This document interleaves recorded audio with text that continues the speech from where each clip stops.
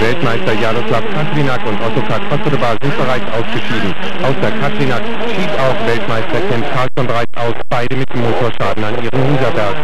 Roman Michanic bekommt den tückischen Untergrund zu spüren. Jaroslav Katrinak und Ottokar Kosodoba helfen auf der Klemme.